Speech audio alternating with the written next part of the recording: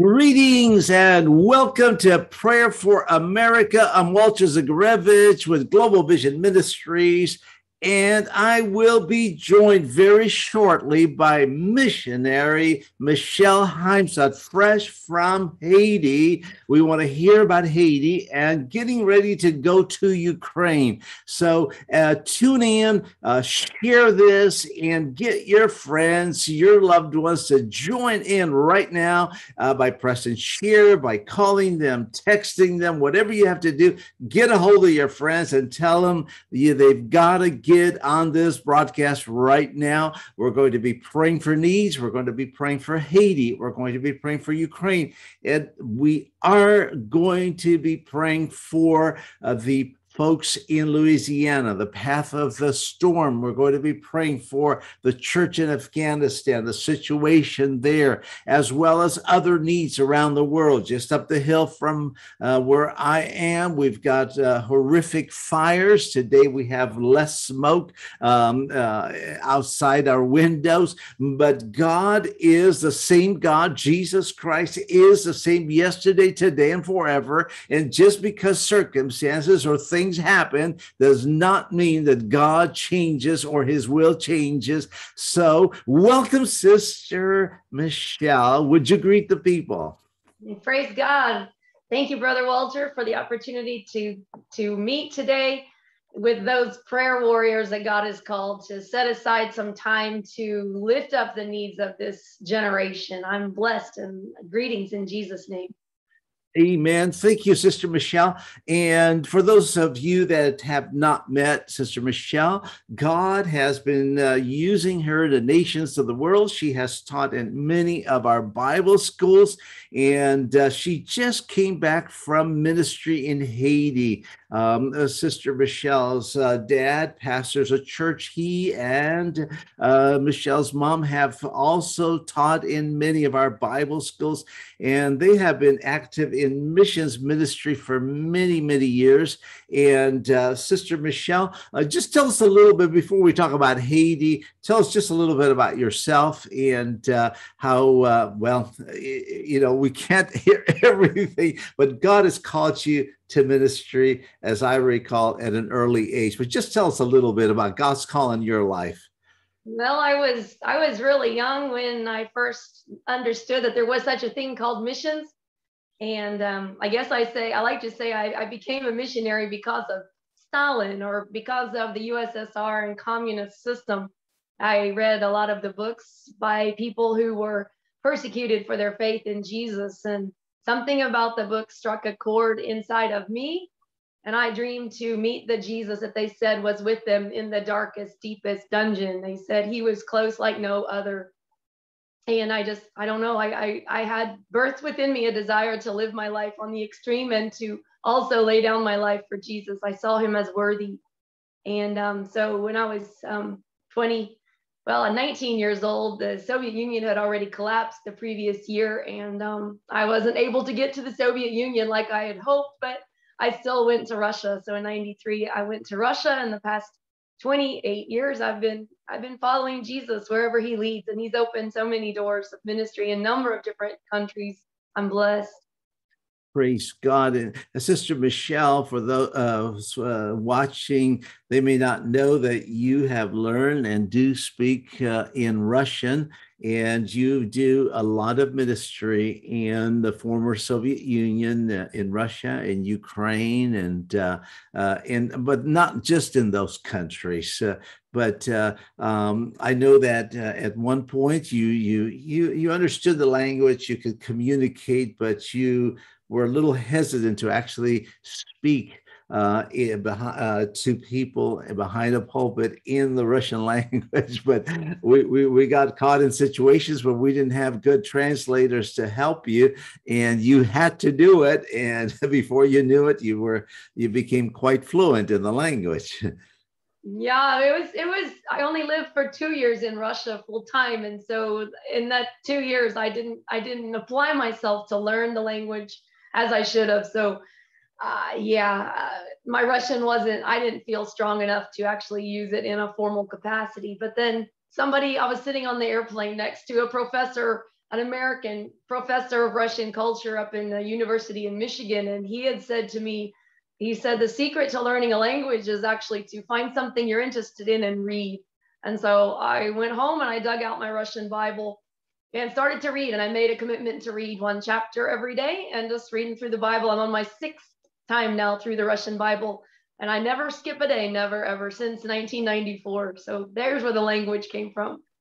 Wow, what a good recommendation to anyone who wants to pick up a new language do get the Bible. And, uh, you know, you could even get in some languages, um, two languages. You could get English on one uh, side and Russian or Spanish or another language on the other side. And you could actually kind of check back and forth if you're not sure of what you're reading when you're learning that language. But wonderful. Well, uh, Sister uh, Michelle, you just came back from Haiti. Uh, we have been praying for Haiti. We continue to lift up Haiti. Just tell us a little bit uh, uh, about Haiti and how we should be praying for Haiti right now.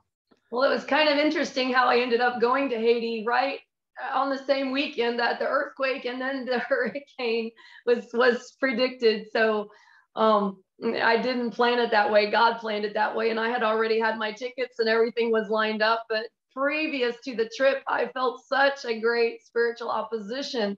And it was like, it was almost strong enough to make me cancel the trip for no reason except I could feel the spiritual oppression or the, the opposition.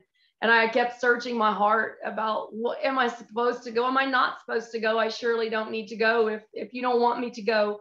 But I felt like I was supposed to go. And so I went ahead and moved forward with the trip. And then the day before I was to fly in, the earthquake, that 7.2 magnitude earthquake hit. And um, it was it was kind of like, wow, really? Like I remember their last earthquake and it was a mess. And and so, and then they said, and not only that, but they're expecting this hurricane to hit over the weekend, Sunday night, Monday. And so that's when I was literally flying in on Sunday evening, Monday morning, then flying on from Port-au-Prince to Jérémie, where I was going to minister. And um, so I was, it was just kind of funny because I, I guess I had dealt with the confusion I felt in the spiritual realm before the trip or before it actually hit any of the confusion, the greater confusion. And so when the earthquake hit, it was just like, oh, bring it on. I, I don't know what this is, but I, I trust you, God. And then when the hurricane was projected, it was like, well, okay, I guess I'll learn what a hurricane is or not. So um, I flew in and there was no, I don't think the earthquake was close enough to Port-au-Prince to cause any damage. And then where I was flying onto in Jérémie on the coast, um, they were about 50 miles away from the part, I, what's it called? The, the epicenter. The epicenter, yeah. And so um, they they had, they, they got, about, the people I was talking to said it shook for about 40 seconds. And um, it felt like you were standing on jello they said, You think you have concrete or a solid foundation under your feet, you have nothing under your feet. And it feels like the earth is just going to open up and swallow you. That was the testimony that I heard from, from one of the brothers there. But um, um, the people in Jérémie themselves, I, they were very hit. They hit very hard the previous earthquake and great devastation. So maybe everything that could be shaken was mostly shaken the greatest damage in the in the city there was just the Catholic Church. Its roof had imploded on it, so it's very I don't know if it's repairable or not, but its its rubble is bursting out of the doors and the windows. And um, the the bridge, the only access to Jérémie by land, is is is it was a suspension bridge, and this is number of suspension um, pillars popped or broke or snapped open. So and it it, it dropped almost a foot in the middle of the bridge, so it's unpassable. So no no supplies can come in and out now of Jérémie except by foot or by uh, like the motorcycle. And so um, uh, they really need a miracle where that bridge is concerned. Except I did hear that the maybe the U.S. Army, what is it, Corps of Engineers, is looking at maybe helping them. I don't know. I saw that today. So that's a hope that if they can get that bridge, I don't know how many months it would take to redo a bridge of that size because the river is large but that's that's a need is to get transportation in. But Jérémie wasn't hit as hard as the uh, the countryside. Many of the villages out there, there was I don't know how many thousand they've they've counted dead so far, but a lot of gangs are controlling the roads and so making convoys uh, giving him great difficulty trying to get needed supplies into the people. So that's a definite prayer need. Just that the gangs so, will cooperate. So not only is it difficult because of the uh, unnavigable bridge and the difficulty of even having to walk or go on a, on a motorcycle to get there, but you have uh, gangs that are controlling roads and uh, basically it's very dangerous because you've got these people um, assaulting uh, people coming through the road and, and robbing them. So that uh, so we definitely want to pray for that. But you shared something with me um, how that because of the fear of being inside buildings you ended up having many meetings outside which turned out to be uh, a blessing in that more people were able to hear the gospel and more people were reached by virtue of the fact that the meetings were outside rather than uh, smaller meetings inside. Tell us a little bit about that. Yeah, prior prior to the earthquake or any of that, I was uh, they were planning some women's women's seminars for me on the the Friday, Saturday, I don't know, Thursday, I don't know what evenings they were working on, but they were going to do several days of women's meetings, three days.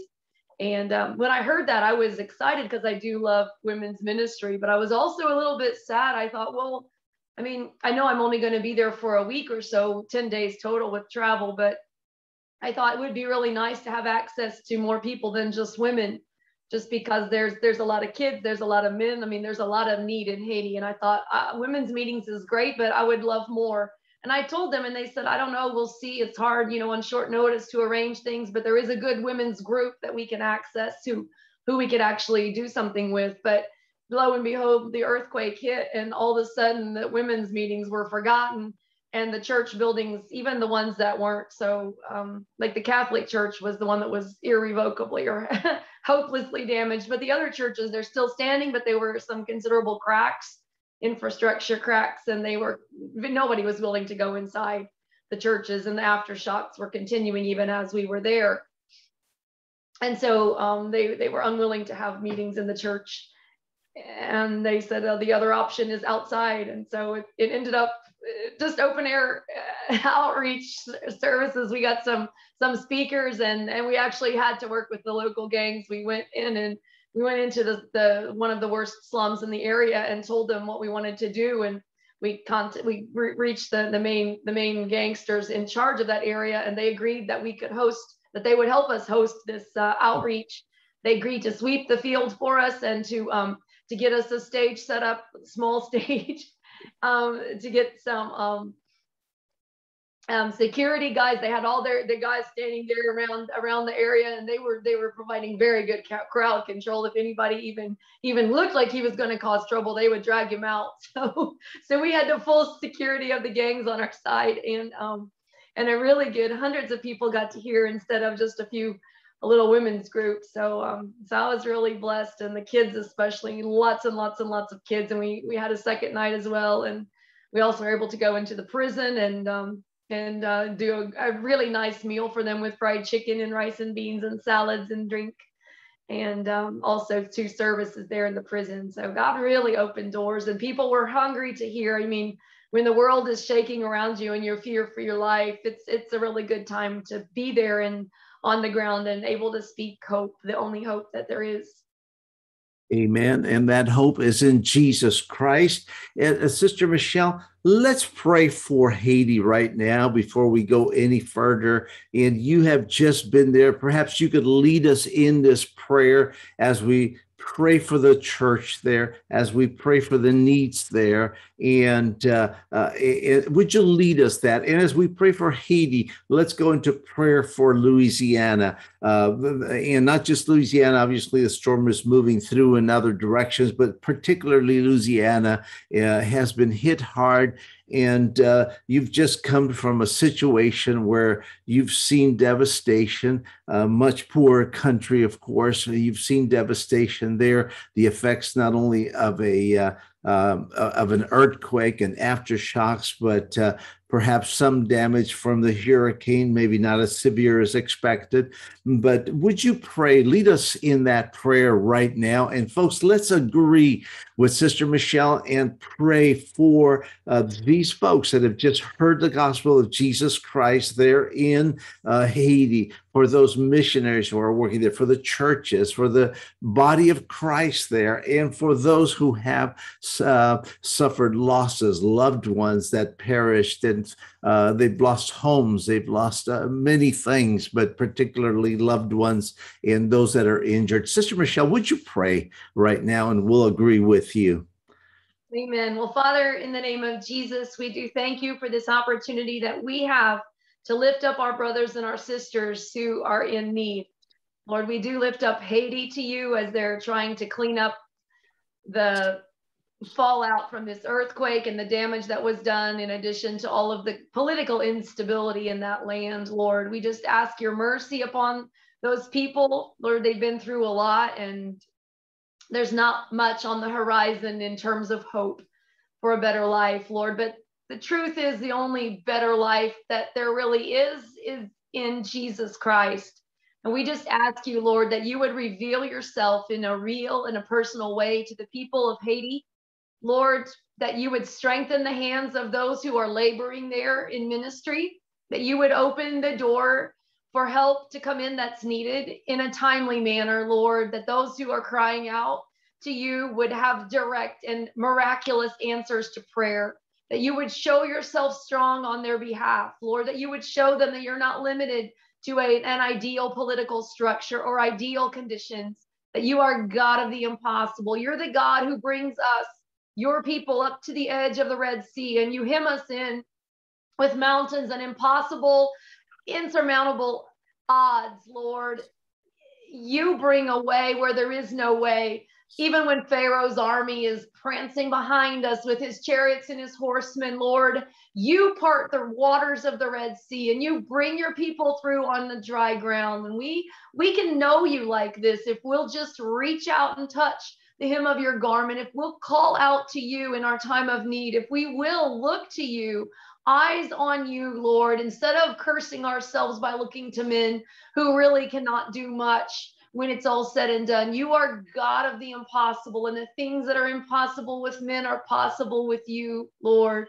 So we lift up Haiti to you. We lift up the ministries working there. We ask you to give them one heart and one way, to give them unity, Lord, that they can actually work together for good in Jesus' name and for the sake of your kingdom, that your gospel truth would be proclaimed in this time, Lord, that it wouldn't be forgotten the hope that we have in Jesus as people are trying to bring physical hope in things like clothes and food and water, that the, the hope that we have in Christ Jesus would be proclaimed and that people would have ears to hear and that there would be a transformation in that land from the inside out, Lord. In the name of Jesus, we ask you for this. We also, Lord, we lift up the Louisiana, the area that's been affected by this hurricane. And as this the storm is moving on into inland, Lord, that, that the people who are looking at it coming would realize that, that they do have authority in the name of Jesus over the storm and over the damage that can be done. Just like when I was in Haiti and this this hurricane grace was not able to hit like it would have hit lord it became a tropical depression and then it dissipated and it did no damage at all and so I thank you for that, Lord, that we can look at the storm in the face and say, yeah, but your power is limited. Your power is limited to what God allows. And if He says no, then you can't bring destruction in this place. So, Lord God, that your people would take the authority that you've given to us in the name of Jesus and speak peace to the storm, whether it's a physical storm or a spiritual storm. Lord, an emotional storm, Lord, you are big enough. And we thank you, Lord God, for making a way where there is no way. You are the way. And we thank you that we can know you our way. We can know you personally, Lord, in a real and a living way in our daily lives, Lord. In Louisiana, Lord, as they've been devastated and who knows the extent of the damage, that you would meet people with personal testimonies of salvation as they cry out when it's impossible you you still are the door you open the door you are the door lord nobody can close the door that you've opened I thank you, Lord, for your provision for those who reach out to you, that they would find you there sufficient in every situation. In the name of Jesus, you are the God of gods and the King of kings, and we declare your lordship and your authority. We thank you, Lord God, for the privilege to join you in the work that you're doing in this generation. Maybe we would rather the circumstances would be some other way, but you actually use these circumstances and work everything together for good for those that you've called and for those who love you, Lord. The question is Do we love you? Have you called us? Are we responding to you? Lord, are we willing to forsake all and follow you? Are we trying to cling desperately to all of our things while those things blow away in the wind? Lord God, I ask that you would wake up your church, that you would wake up your people, and that you would give a chance, a second chance, Lord, to hear your voice, to respond to you, to receive you in Jesus' name. Amen. Amen. And Father, in the name of Jesus, we come against the principalities and rulers of darkness that are trying to attack God's people, that, uh, that are working against the plans and purposes of God in the United States of America, in Afghanistan, in uh, Haiti, uh, in other parts of the world. And Lord, we come against the, the, the witchcraft and we break the curse of witchcraft over Haiti. We break the curse of Satan over that nation and we set them free in the name of Jesus Christ. Him whom the Son sets free is free indeed. So, Lord Jesus, may your name arise. May your name be glorified in the midst of the rubble. May the church arise strong and mighty in you in the nation of Haiti, in the Dominican Republic, just next door. Oh, Father, in the name of Jesus, we pray that your the, the church would arise, that you would arise through the church, offering hope and, and, and salvation to people. For Lord, we all need Christ. So, Father, we speak blessing on the missionaries, blessing on the church leaders, blessing on your body there in Haiti, praying that you would use them, that you would meet their needs. Lord, this uh, bridge that needs to be rebuilt. Uh, may it be rebuilt quickly. Uh, Lord, we pray that the supplies needed in Jérémie and other places would reach their destinations without these gangs interfering. Father, we pray that uh, the corruption would be removed from that nation. We pray that uh, uh, liberty and justice and freedom and uh, in repentance would come into the hearts of those those who seek to do evil, who seek to take advantage of this and other similar situations there. And Father, we pray for justice. We pray for your intervention in that nation. We say, Your kingdom come, your will be done in Haiti, in uh, the entire island, uh, not only in Haiti, but Dominican Republic and throughout the Caribbean. Lord, just not far from there in Cuba, where there's persecution for the church. We pray for the pastors. We pray for your body that, that they would be strong in this hour of test, in this hour of trials. Father, we pray your protection upon them. They've also uh, been uh, uh, covered by storm after storm. Lord, we pray for them too, that you would meet their needs uh, in Jesus' name. And Lord, we do pray for our brothers and sisters in the Louisiana area and other areas, and we take authority over what remains of the storm, and we command it to dissipate. We command the winds to cease in the name of Jesus, and we pray for the protection of your people. We pray for the uh, first responders, those that are going out there uh, to save people, to rescue people. We pray for those that are operating the levees. We pray for the electrical grid to come back on so that they could uh, have pumps uh, functioning to get that water out of there. Father, we pray for all those people who have lost and who are in fear of uh, dying right now, that they would get to know you as their Savior and as their hope. And Lord God, we pray that their needs would be met in this hour in Jesus' name. In Jesus' name. And Father, we want to lift up Afghanistan right now. Afghanistan has been on the news, but Lord God, we pray for your people. We pray for the church. We pray for the persecuted church in Afghanistan. We pray that you would put a shield of protection upon them. We pray that you would use them, that you would give them boldness despite the circumstances to preach Christ, crucified and resurrected from the dead. And Lord God, we pray that you would uh, appear to Taliban leaders, to mullahs, to uh, to ISIS people, that you would appear, that they would come to repentance, that they would come to a confrontation with you, Lord Jesus, where they would repent and receive Jesus Christ as their Messiah, as their Savior, as their Lord and Master. So, Father, we pray for Afghanistan. We pray for the church in Afghanistan, and we send your word to your church there protect them, keep them, use them, meet their needs, oh God, in Jesus' name. Provide safe passage to those that need to move from place to place right now. Father, we pray for the um, uh, the remaining military, the United States and allies that are there, that you would protect them, that you would guide them, that you would keep them. And Lord, we pray that any that still need to get out would be safely um, uh, removed from there in Jesus' name in Jesus' name. Hallelujah. Sister Michelle, I know that you're getting ready to go to Ukraine, and, uh, and we want to pray for you. We want to pray for Ukraine. But um, uh, before we do that, just tell us a little bit about what you're going to be doing in Ukraine. And um, I know that you've been there many times and you're going to be ministering in various parts of that uh, country. And perhaps you've got something on your heart that's just burning that you want to share with uh, uh, the folks out there. Please. Well, the invitation on this trip is for two different Bible schools, missionary Bible schools, one in Lviv and one in Ternopil. So I'll be going to both of those schools one week each.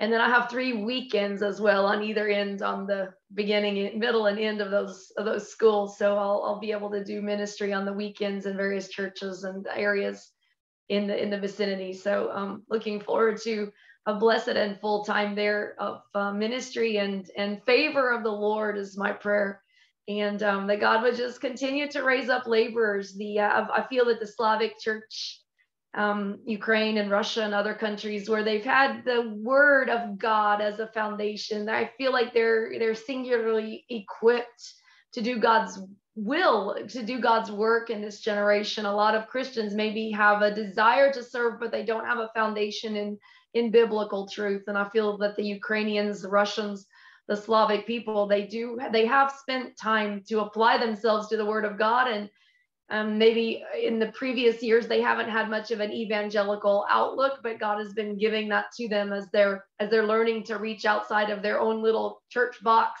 and to see what God actually would have for them to do in the nations. And I, I just feel it it's a privilege to be a part of God equipping them to be ready to go to go beyond what they can do themselves and to see what God will do with them next. Amen. Praise God. So we definitely want to pray for Sister Michelle. We know that uh, travel at the present moment is a lot more complicated than it was prior to COVID, but God always makes a way. And we praise God for uh, your obedience to God's call and to go into difficult places, even in the midst of uh, very difficult circumstances, as was in Haiti. But it's not just in Haiti, uh, things happen all over the world. And um, uh, so we praise God for your ministry. We will pray for you and we will pray on this broadcast.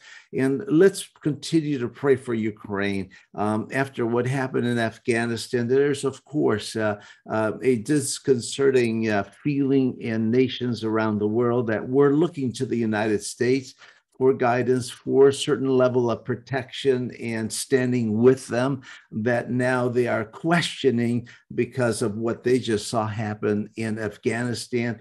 And this goes for Taiwan, I'm certain, and uh, and of course in Ukraine, where they still have uh, uh, an active, uh, somewhat active war on the Eastern Front.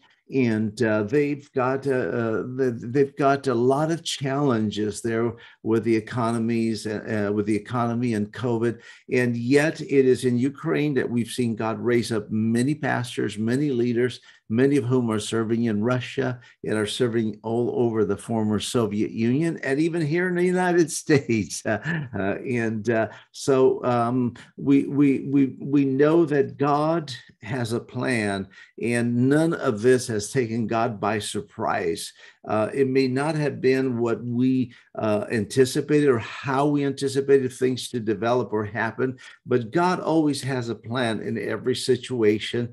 And uh, um, we want to continue to pray for God's will to come forth in our lives in in situations around the world and uh, Sister Michelle, uh, uh, I, am talking and talking here, but we want to pray for you. But would you maybe you have got something you wanted to share yet?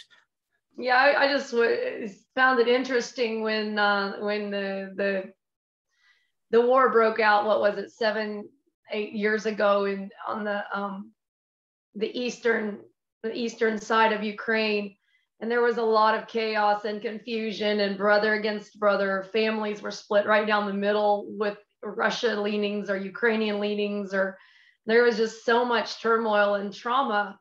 And a lot of people they they perished in the in the fighting. But what i see that god actually did from that is he opened doors. He uses the chaos for his purposes to rearrange people because we get so comfortable in our little in our little our boxes that we create, our little our little nests that we make for ourselves, and we don't ever plan to move. And then God, it's almost like you can see in the book of Acts, He would He would rile up a persecution, and the and the church would scatter to the ends of the earth with His gospel.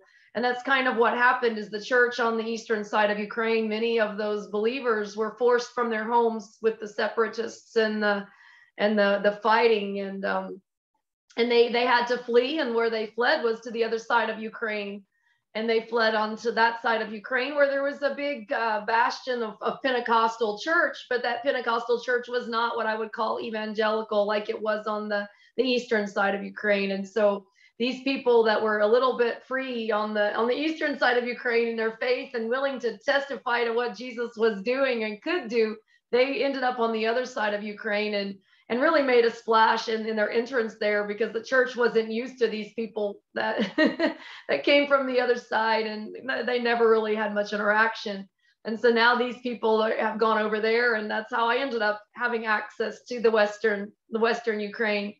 And um, because of that i've had access to bible schools over there. Because of that i've ended up in in portland and seattle areas uh, I've ended up throughout the, the Slavic community in the US, all thanks to Putin or thanks to this unrest, because if it weren't for that, they never would have moved and I never would have had access.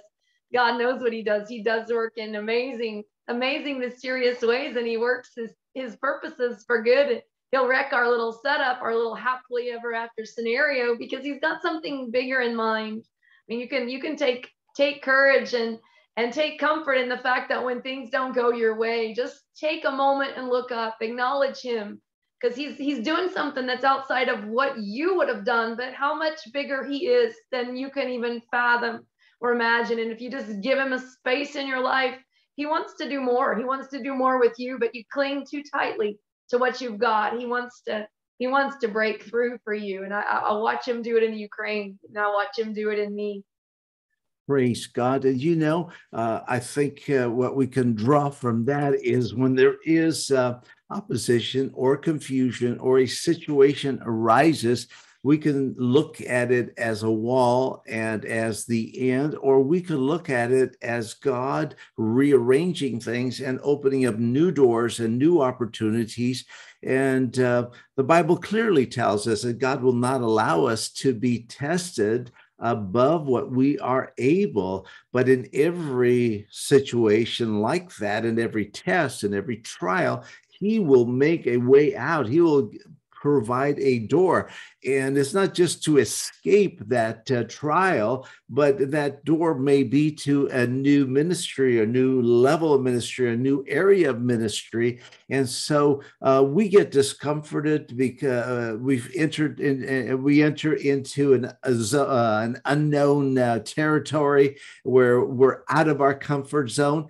And yet that's when we begin to realize that our reliance is on God and not on our ability. And we can easily start uh, getting into a rut or getting into a habit of just, well, I'll just do a little this, a little that, when God has something greater, and we just need to step through that door. So we can uh, look at opposition, we can look at problems and just uh, uh, fold up our tent and go home, or we could just expand and we can do more for God. And that's what I'm hearing from Sister Michelle that uh, these uh, conflicts, these issues have actually, though they were meant for evil, God turned them around to open new doors and to cause uh, a new move of God in parts of the world. So praise God for that.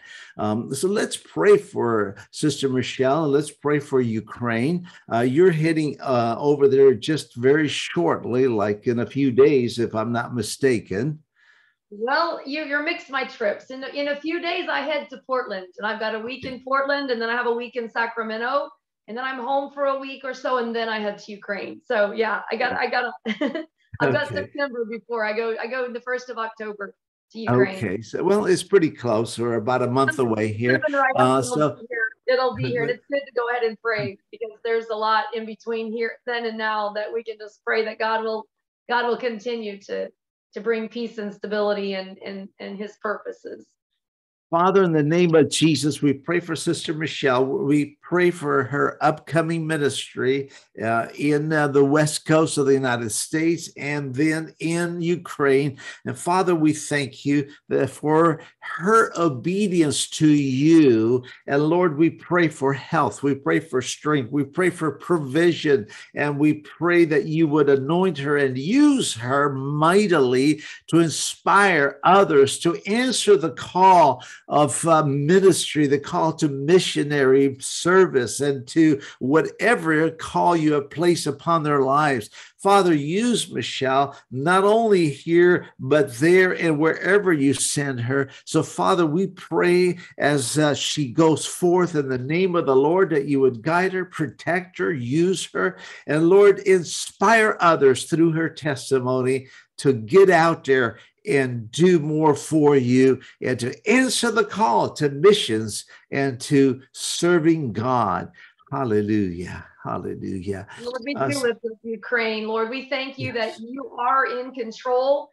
You said all things are of you and for you and through you and to you, Lord. We thank you that there is nothing that catches you off guard, even when the political fallout seems so wrong and it seems so it seems so frustrating, Lord, things that are taking place politically and in our lives, Lord. It's so easy to get all in a in a lather about this, but if only we would look up and say, God, what are you doing? Show me what you're doing. Reveal your way to me so that I can join you in what you're wanting to do in this situation. Lord, in Jesus' name, that we would have the courage, that we would be a Daniel, we would be an Esther for such a time as this. I'm sure Esther would have preferred to not be stuck in the king's in the king's palace, but you had her there for your purposes. And Mordecai, he he understood that. He said, "Who knows whether you're come to the kingdom for such a time as this? But if you hold your peace, then God will bring deliverance from another from another place, because God is going to deliver His people. But you and your father's house will be destroyed." So, Lord God, that we would not miss our opportunity, Lord, to shine for you, not miss our opportunity to lay down our lives for you, because that's what we're called to do. We're called to take up our cross, to deny ourselves, and to follow after you. And that's not going to be easy, but it's going to be worth it.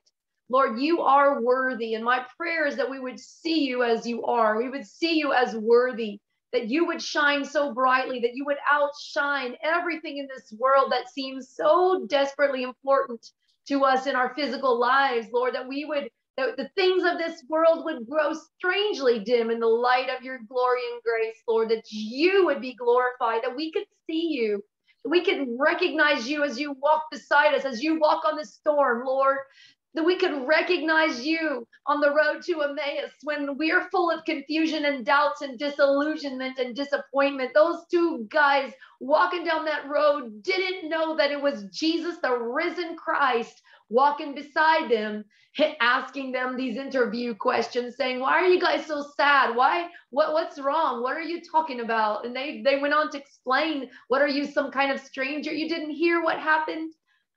They were talking to the risen Christ and how blinded they were. Lord, it's the same true today with your church. We're so blind and we have the risen Christ. You're right here beside us, inside of us. If we've actually accepted you, received you, we have the power as the sons of God, Lord, to do what you've called us to do. And what are we waiting for? Lord, I ask that you would wake up your church, that you would quicken us with might, by your spirit in our inner man, that your word would be alive in us and that we wouldn't live for things that will never satisfy, that we would not waste our effort and our strength on things that will never satisfy, things that are so temporal, so temporary, Lord, but that our eyes would be on you and that you would be glorified. Lord, this is our prayer. I ask you, Lord, in Jesus' name to reveal yourself to your church, to wake up your people, Lord. The time is short. We do not know how much time we have, but time is short. The devil knows his time is short. That's why he's gone out with a vengeance, doing everything he can, Lord. But he is eternally defeated. And if we understood his position and our position, what could stop us, Lord? Open our eyes. This is my prayer in Jesus' name. Amen. Amen. Amen. The Lord, your word says that we should take up the whole armor of God that you may be able to withstand in the evil day and having done all to stand.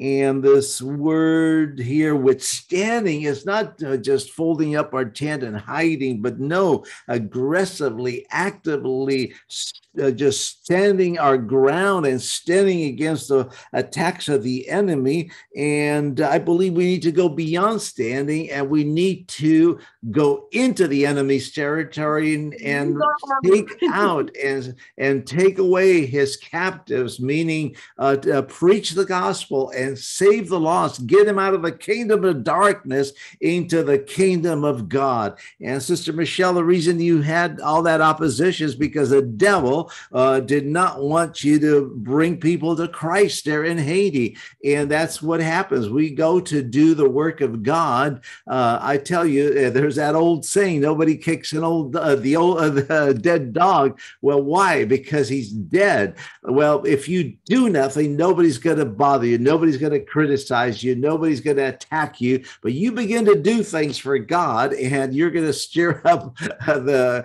uh, the devil to, against you, and that's just a confirmation you're doing God's will and God's work. So uh, just keep moving forward and keep uh, uh obeying God. God is using you and and I believe that uh, uh, you're a great testimony to many, uh, not just uh, young ladies out there, but to men and women and uh, and young people all over the world. Because uh, it is not difficult. it is difficult to go to many nations as a male. Much more complicated and difficult for a for a woman. And yet you have trusted God. You have gone to these faraway places, and uh, uh, and yet you are a testimony how God led you, and you've been obedient to God, and God has used you in in in situations you've never expected, perhaps when you first stepped out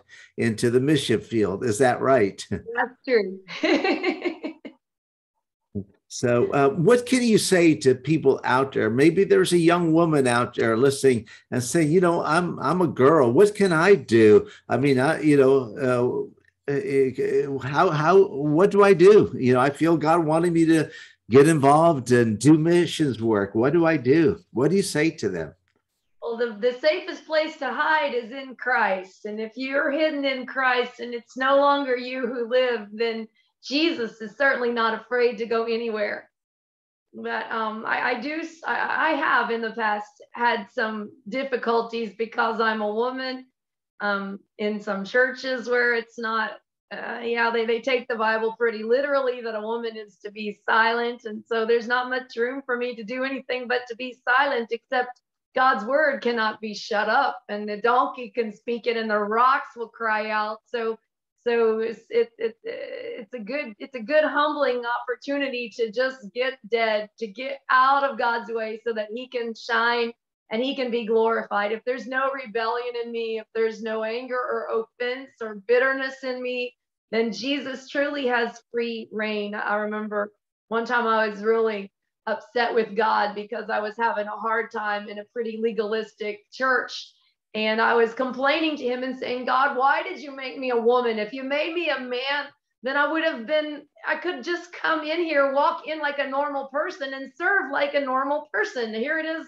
You know, I, I have to jump hoops and I have to contort into all forms of, of, of, of, of compliance, trying to, to even have a little bit of space and and god just straight out spoke to me and he said if you were a man you wouldn't have to trust me like you trust me as a woman. The man could walk in here and think he doesn't need me. You need me and you know you need me. So i've learned that it's not bad to need god and to know that i need him. And the more i rely on him the more the more i see his power. That's what paul understood in Second corinthians 12 when he said when i'm weak then I'm strong. He said, So I'm going to rejoice in my infirmities, in my weaknesses, in my troubles, in my persecutions, in all of these things. I'm going to rejoice because he says, Because the power of Christ in my weakness is made perfect. He said, I want the power of Christ to rest upon me. And if we truly want the power of Christ, not the power of our own selves, the power of our own ability or our own our own access access some potential because I'm this, because I'm that. We have our list of reasons why people should accept us. If we have no reason that they should accept us, if we have no even standing because of our, our circumstance or situation, that's the that's the ultimate and optimal opportunity for Jesus to just shine bright because he he didn't come to earth as something special. He had no form or comeliness. The Bible says that people should desire him. When they looked at him, they turned away their faces. And so if eh, that's what God has told me straight out. He said, if, if you were something, if you looked like something, you might think you're something. He said, but because I became a zero, he became an absolute zero to walk on this earth. He didn't choose a palace to live in. He chose to be born of a virgin, which is a pretty big reproach in those days. How do you explain how you're pregnant when you haven't been messing around? Jesus took that way. He took the way of reproach. He took the way of shame. He took the way of confusion. He took the way of pain and suffering. He chose that way when he didn't have to choose. And here we are set with the same choice. What way do we choose? Do we choose the easy way, the broad way, or do we choose the narrow way and walk with him there? Because if we'll walk with him on the narrow way, that way leads to life. We can actually see the life of Christ manifested in us. And, and and the world can stop their mouths because there's nothing to say when Jesus speaks to them. There's nothing to say. Every knee bows to him, and every tongue will confess that he is Lord. And If we get ourselves out of the way, so I can say maybe it's easier to be a woman because I don't look like anything, but I have the mighty God lives in me. So I'm quite the special forces for Jesus. You're not expected, but God lives in this temple and he fills this temple and, and he speaks through this like the bush that Moses saw burning and it wasn't consumed. We can be the bush that burns and is not consumed, and God will speak to people out of us if we give him space. Praise God. Praise God. Very powerful, powerful words and testimony and encouragement. And uh, we we we are very encouraged by what you are doing. You're a great example to many, many others. You've gone where many would not dare to go, and you've gone and ministered in various parts of Africa. You do that on a regular basis. You've gone to, uh, of course, the former Soviet Union on many occasions and other countries. So uh, we uh, we honor and respect that commitment that you have, and we know your your younger sister has also served as a missionary in Japan for uh, quite a number of years. Uh, just another powerful testimony. And not only in Japan, she's joined you uh, in on some of your uh, uh, Russian Ukraine trips as well, hasn't she? She's been on a number of trips with us. She spent 15 years in Japan, and and um, God then started to open doors for her to go along with me on my my dad sometimes to different to Africa, I think seven times, and to Russia five times, and to Ukraine and Uzbekistan and Kyrgyzstan and and uh, Poland and Ukraine and Armenia, and she she was able to go a number of places, Ecuador as well. So yeah, God God is good to open doors. Praise God. That is so wonderful. And uh, before we close, we want to give people an opportunity to receive Jesus if they don't know him yet. Would you invite people that may not know Christ as their Savior to receive him and then lead in a prayer receiving uh, Jesus Christ? Excuse me. Amen. Well, there is a Savior, and his name is Jesus. He created us for his glory, and he's He's standing at the door and he's knocking. I know he was speaking that when he said, Behold, I stand at the door and I knock. He was speaking to the church. And I think a lot of people in the church these days haven't met the living Christ. Maybe they have an idea of who he is or who he was or who he should be, but they have offenses, they have anger. Maybe that's you. Maybe you've got offense in your heart because God didn't do what you thought he should have done or maybe you have questions in your mind because god just doesn't make sense to you. And maybe you have just a hard heart and you've already made up your mind and you think god's not god's nothing to me. I, I want to do it myself. Or maybe you've got sin and bondage in your life and you you've tried to break free but you can't. It doesn't really matter your situation if you have a Bible, then you can open your Bible to Psalm 107. He gives us four specific and clear examples of people who, who were in troubled situations, people who were lonely and lost, but they cried unto God in their trouble and he delivered them. People who were bound up in chains of affliction because of their sin and their rebellion. People who refused to obey God and they did what? They called unto God. They cried unto God in their trouble and he saved them. He delivered them. People who were drawing near to death in their in their sickness and in their desperation because of their own stupid choices. And they cried to god in their infirmity and he delivered them. And then people who were just living lives knowing the works of god but god himself called and raised up a storm until they were at their wits end staggering as a drunken man. And then they cried unto god and he delivered them and he brought them into their desired haven the same God of yesterday is the God of today, and He's the God of forever. And He calls each and every one of us, regardless of our circumstance, regardless of our position, our rebellion, our pride, our sin, our shame, our loneliness, our lostness. He calls us to know His voice and to respond to Him. He says, Today is the day of salvation, and do not receive my grace in vain. So, in Jesus' name, if that's you, if you're any one of those people, you have questions because God doesn't make sense, or you're mad at Him because He didn't do what you thought He should do, or you're stuck in sin and you don't feel worthy. I tell you, none of us are worthy. None of us can come to Him because we're somehow good enough to be received by Him. He alone is worthy, and keep that keep that as your your your your your, your total confession. I'm not worthy, and I'll never be worthy. But Jesus is worthy, and He's placed his worth upon me. My worth is in him. My life is in him. My righteousness is in him. My wisdom and my sanctification and my redemption is in him. He's all I've got. He's all you have. No matter if you think you don't need him or you think you've been there, done that, tried that, and it didn't work out. It doesn't matter your circumstance and it doesn't matter where you are. He comes to us where we are.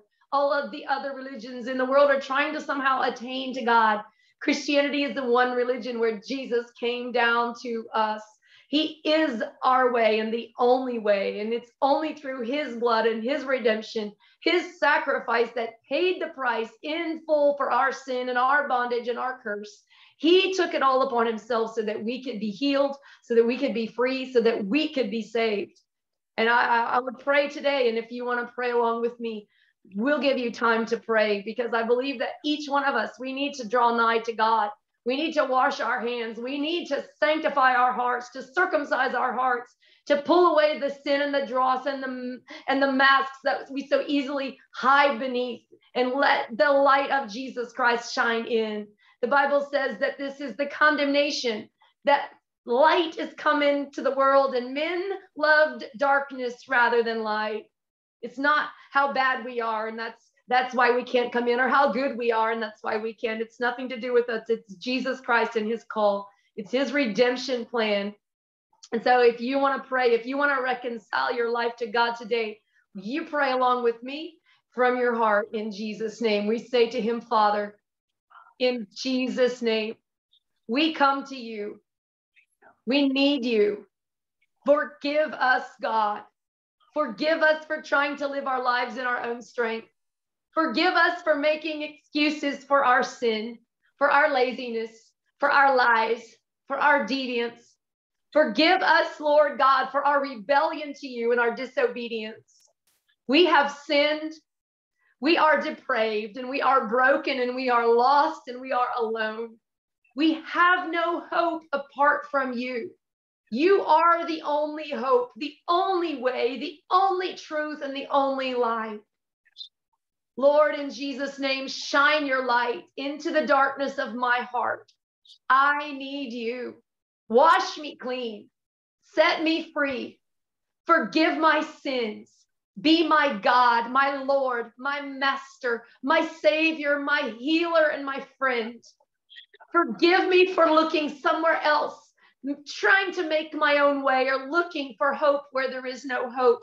Forgive me, God, for sitting on a stolen throne and thinking I can somehow control my destiny. That's a lie.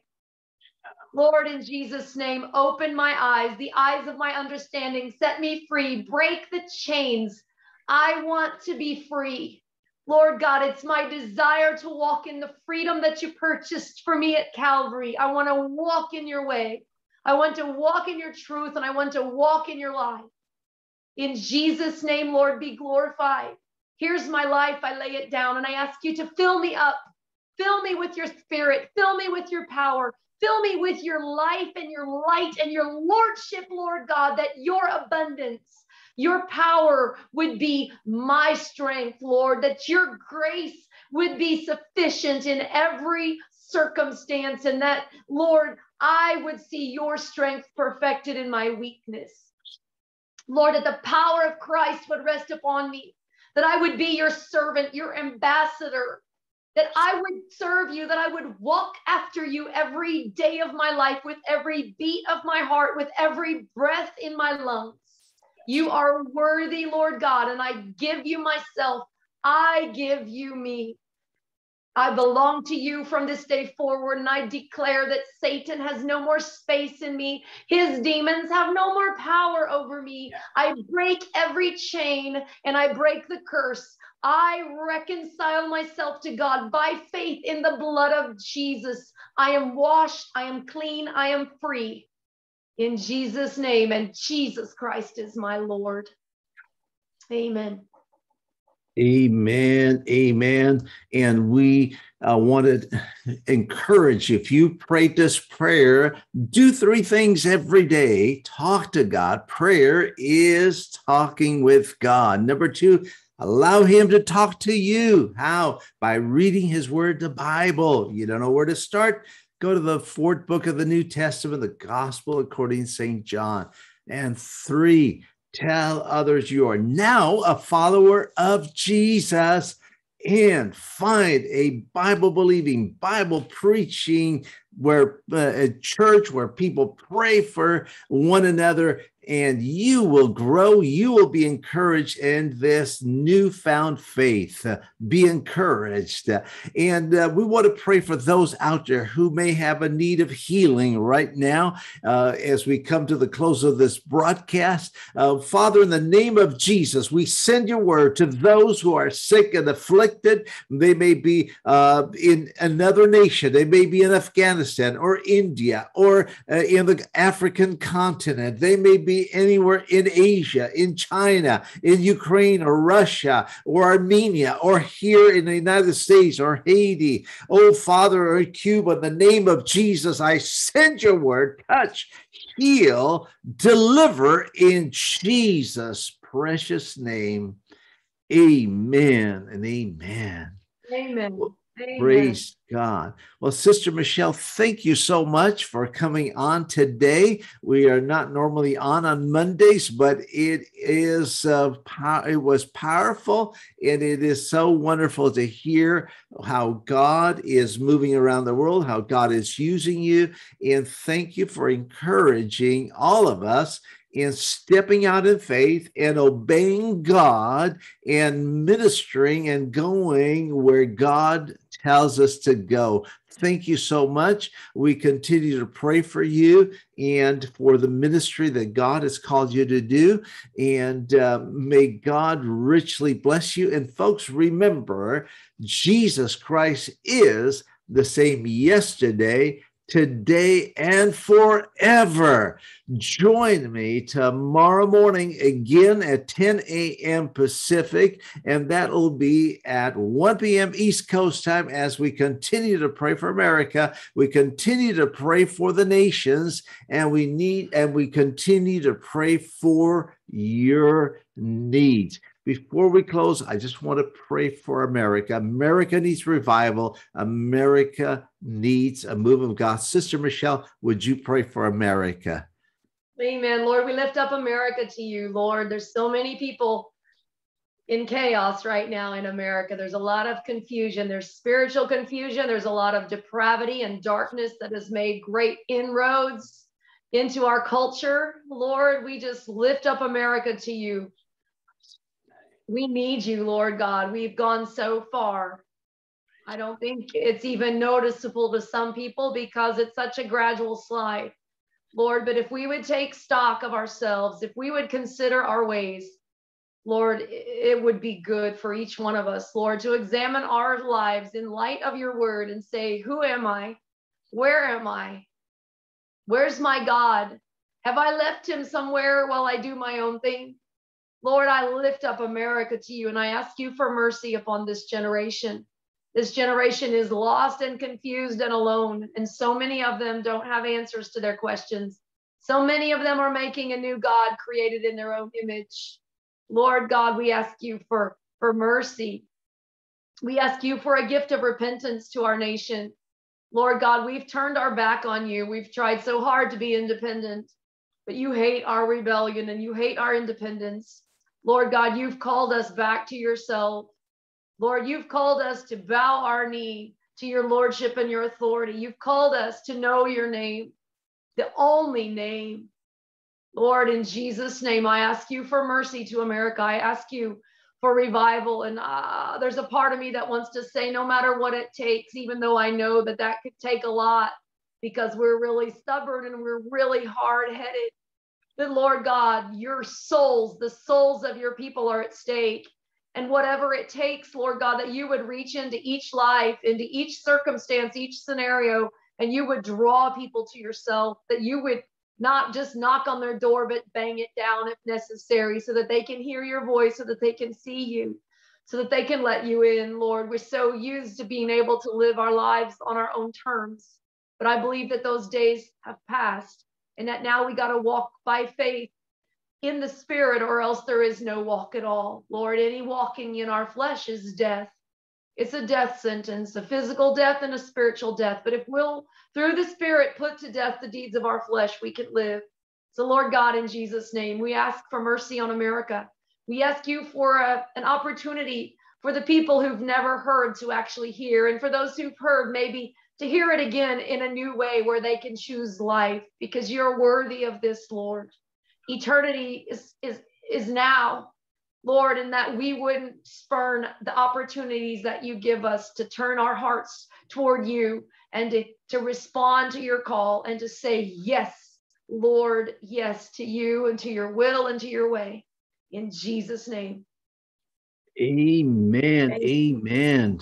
Amen. And thank you again, folks, for joining us today. Share this broadcast, uh, share it with your friends, your loved ones, and let's continue to pray for America. Let's continue to pray for the nations and let's continue to stand in faith, believing despite circumstances, remembering that Jesus Christ is the same yesterday, today, and forever. Joining me tomorrow morning, I, uh, I believe Sister Marcy Labaki will be with me on tomorrow. Uh, Tony and Marge Abrams should be on here on Wednesday, Brother Albert on Thursday. And then Friday, we have the Spanish broadcast. So don't miss these broadcasts. God richly bless you. Share, share, share.